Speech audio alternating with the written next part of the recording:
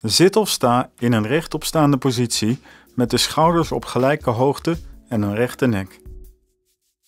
Bevestig een ijstrook in het midden van de rug met de inkeping op dezelfde hoogte als de schouders.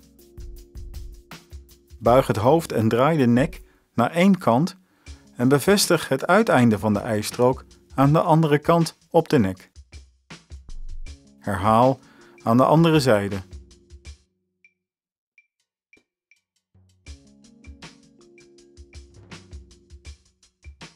Neem een i-strook, bevestig deze met maximale rek dwars over de ijstrook.